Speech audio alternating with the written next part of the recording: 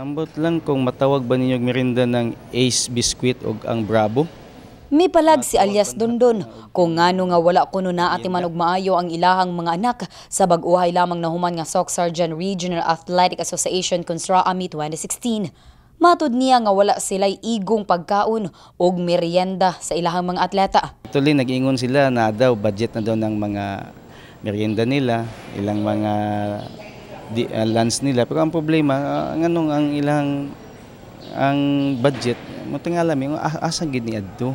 Dili lamang matod pa kini. Tungod matod ni Alia sa Leia, unang higayon nga walay allowance nga gipanghatag sa mga atleta nga nagdula.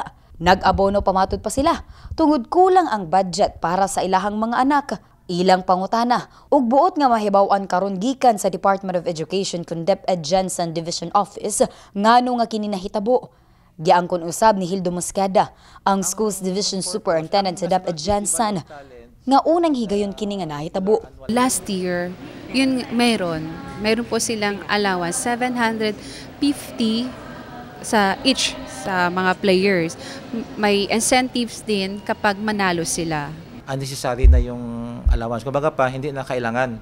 Kasi during the whole duration ng SRA natin, uh, lahat naman ng pang, pangangailangan ng ating mga atleta, pati ng mga coaches and officials ay nandyan na. Pagkain, ang accommodation, pati transportation. May kalabutan usab sa merienda sa mga atleta. Mihatag og pagpaklaro ang DepEd. Sa totoo, biscuit lang. Uh, Marie Ace yung merienda nila.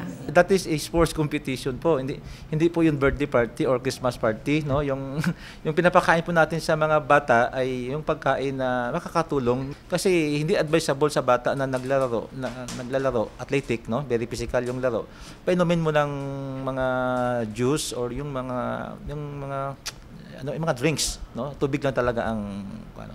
Nagtuo si alias Dondon nga ang mga yangungo nila ang usa sa mga hinungdan kung ngano nga wala na padayon sa Jensen ang ilahang winning streak sa SRA isip champion. So gawa sa kwan, gawa sa Sarangani, Marble, Kidapawan, Tacorong og Sultan Kudarat, nakadawat gid sila.